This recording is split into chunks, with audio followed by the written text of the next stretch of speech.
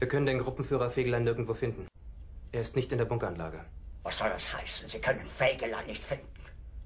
Dann suchen Sie ihn hin. Ich will Fegelein sehen. Sofort! Wenn er sich ohne Befehl entfernt hat, ist das Fahnenflucht. Verrat!